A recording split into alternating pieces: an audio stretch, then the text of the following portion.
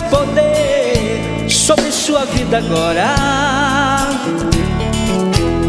Se você fizer um grande desafio de ser fiel ao Senhor,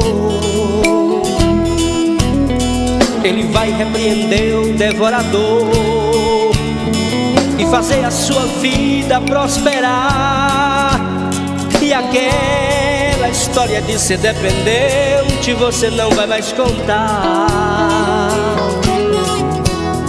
O Senhor só quer que seja dependente do amor e sua glória. Ele hoje vai mudar a sua vida e mudar sua história. Se abrir as mãos para a obra do Senhor, o devorador vai fugir disparado. Você vai ser vencedor e vai cantar. Eu sou abençoado. Eu sou abençoado por Deus.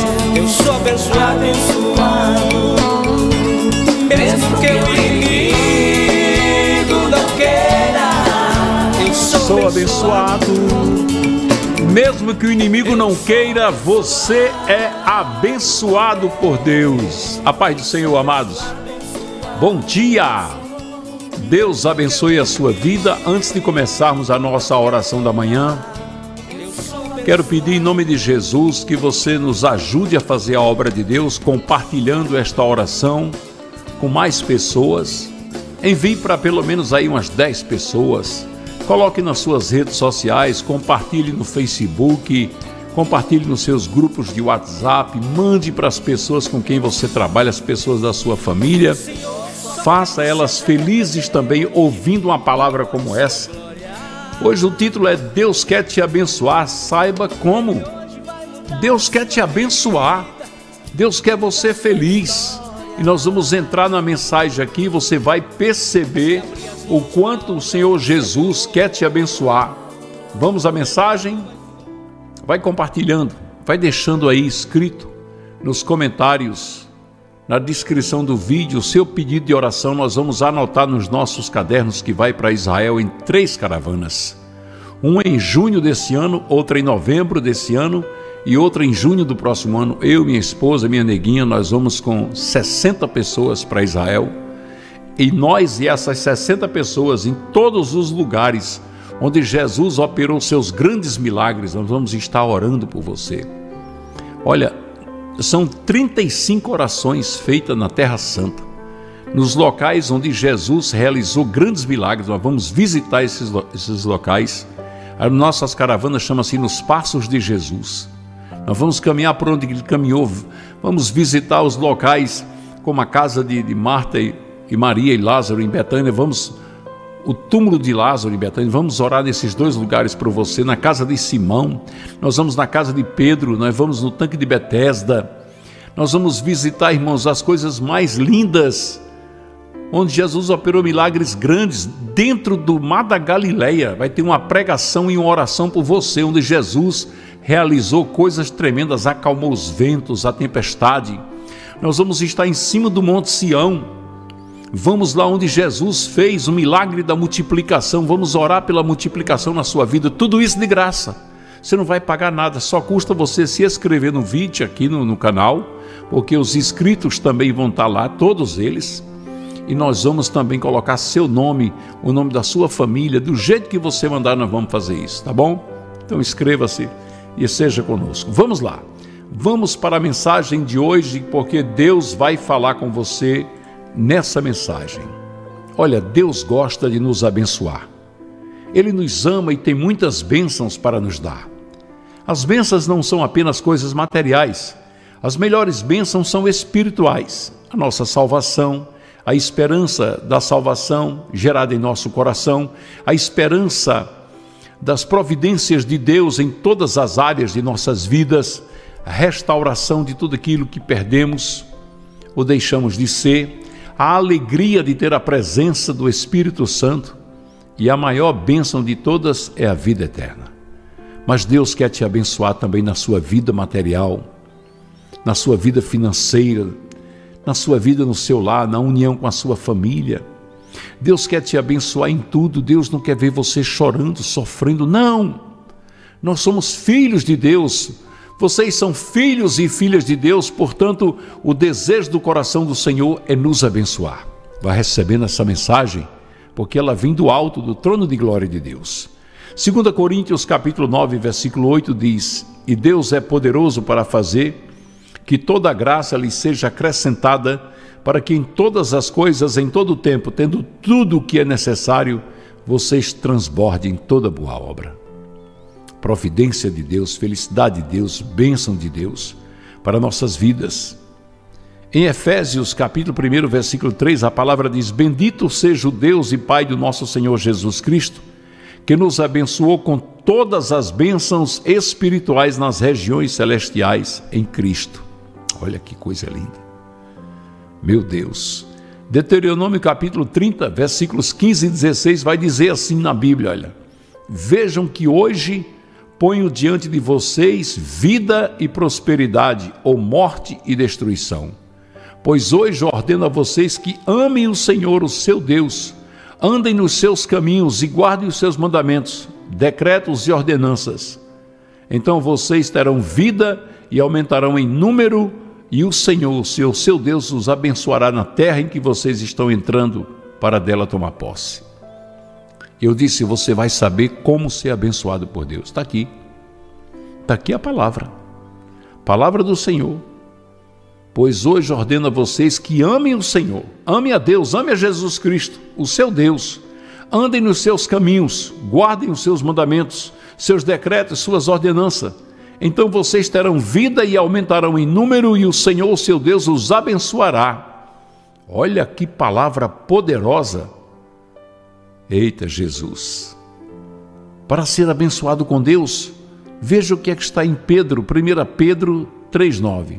Não retribua o mal com o mal, nem o insulto com insulto. Ao contrário, bendigam, pois para isso vocês foram chamados, para receberem bênção por herança.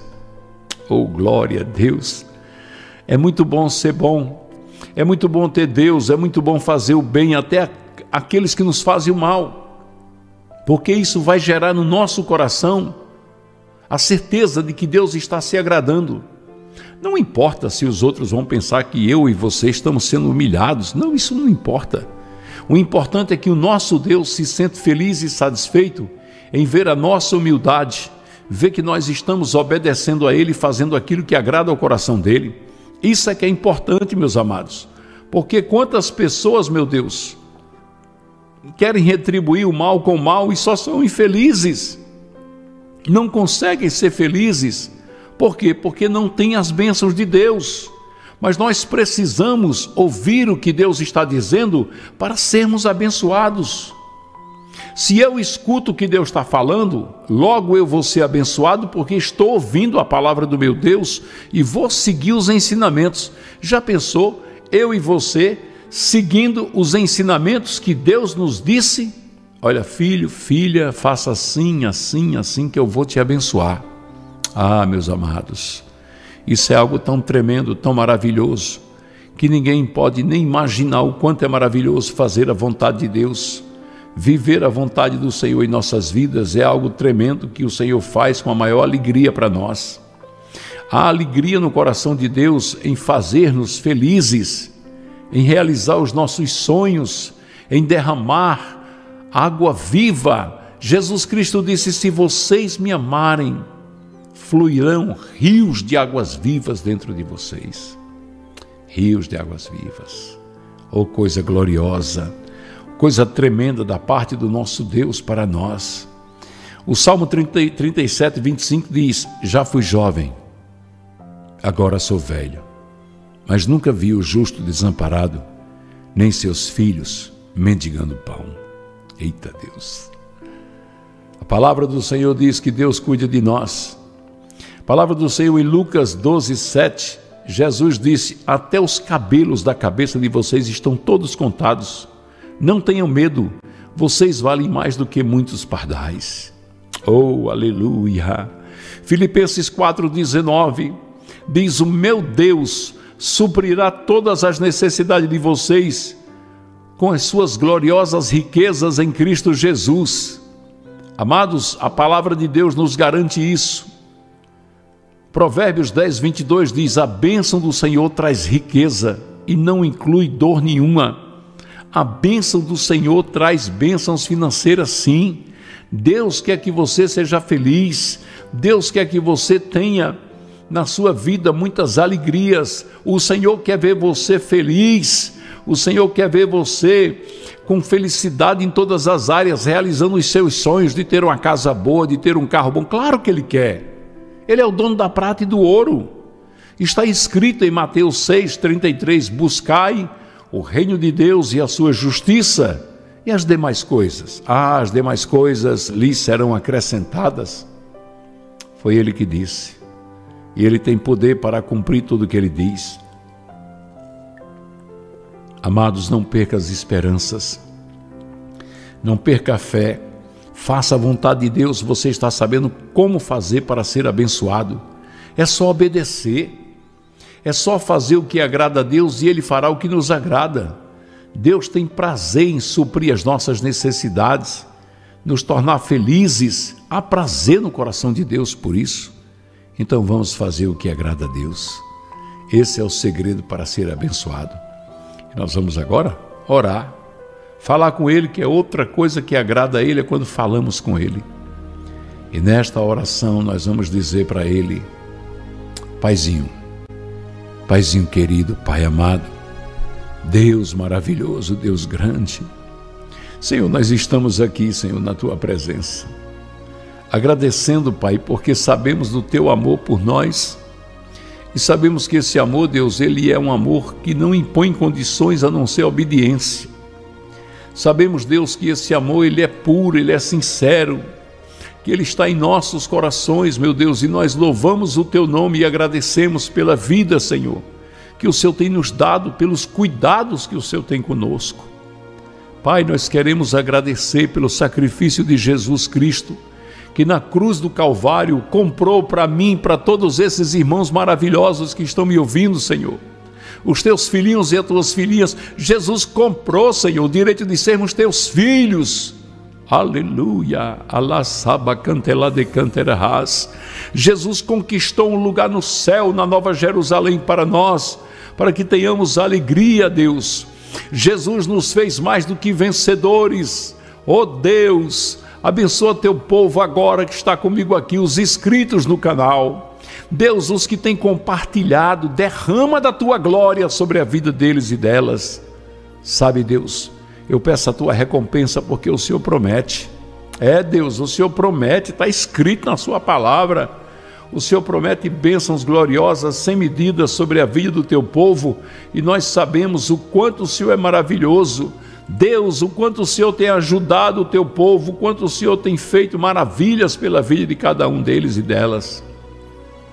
Enche, papaizinho, enche de alegria. Derrama, paizinho querido, Deus amado, das tuas bonanças, das tuas riquezas, das tuas maravilhas sobre a vida de cada um desses irmãos e irmãs que estão conosco. Senhor, Tu és Deus grande, Tu és Deus poderoso, Tu és Deus maravilhoso, Tu és Deus que pode todas as coisas, por isso estamos aqui, Deus, pedindo que o Senhor supra todas as necessidades de todas as famílias que estão conosco. Que seja assim para todos sempre e cura todas as enfermidades, abençoando poderosamente cada um dos irmãos e irmãs é isso que pedimos e agradecemos no santo e poderoso nome de Jesus Cristo. Amém, Jesus. Amém. Amém, Jesus. Amém. Amém. Deus abençoe. Deus abençoe a sua vida. Inscreva-se no canal. Olha aqui. Inscrever-se, inscreva-se, marque o sininho. Se você quiser abençoar as obras sociais da Pão da Vida, o crescimento da igreja que ganha almas para Jesus, se você quiser participar de uma obra completa que faz aquilo que Jesus manda, na descrição dos vídeos estão as contas para você ajudar a construção da casa do Pai. A única casa que eu conheço no Brasil, toda organizada, só banheiros, são 42 banheiros para cuidar de moradores de rua. Você vai cuidar junto com o pastor Chico Chagas e nós vamos ser muito abençoados. Glória a Deus. Muitas vidas vão ser salvas, reestruturadas, porque Deus está no negócio. E Deus tem recompensado. Faça votos e propósitos com a casa do Pai. Faça para você ver. Se Deus não te abençoa, se Ele não realiza aquilo que você está pedindo. E deixa aí o seu pedido de oração, tá bom? Beijo nos irmãos e nas irmãs, no coração, nesse coração cheio do Espírito Santo, cheio de Jesus Cristo. Com permissão de Deus, e Ele há de permitir, nos encontramos daqui a pouco no culto do lar. Mais um culto para glorificar o nome do Senhor Jesus. Deus abençoe e fiquem na paz do Senhor.